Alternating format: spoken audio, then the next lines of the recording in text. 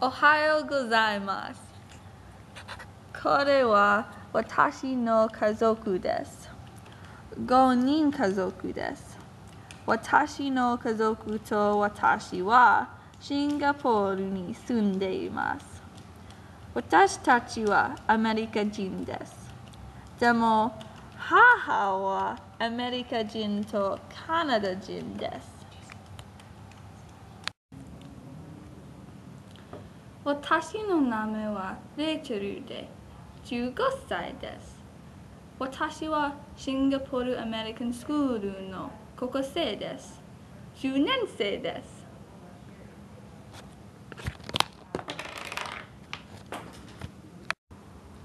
私は可愛いです。茶色と短いが髪で大きめをしています。白いポーロ T シャツを着ています。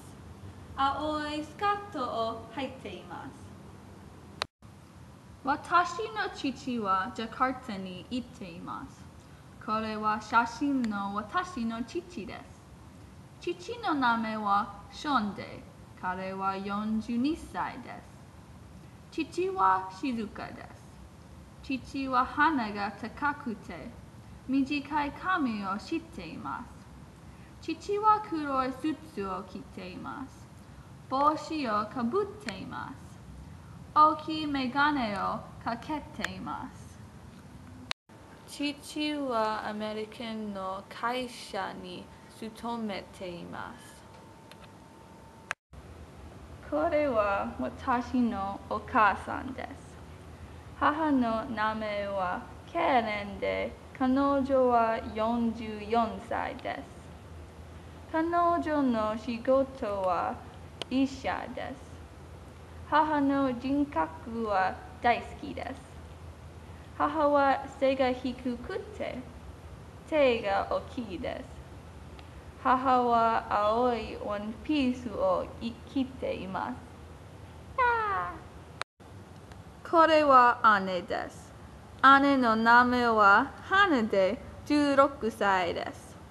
花はシンガポールアメリカンスクールの高校生です。11年生です。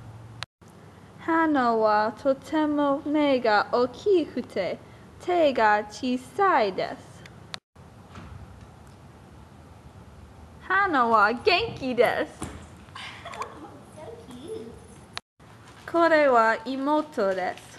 妹の名前はレベッカで、彼女は13歳です。シンガポールアメリカンスクールの学生です。8年生です。レベッカは忙しいです。レベッカは背が高くて、目が小さいです。レベッカは花と白いポーロ T シャツを着ています。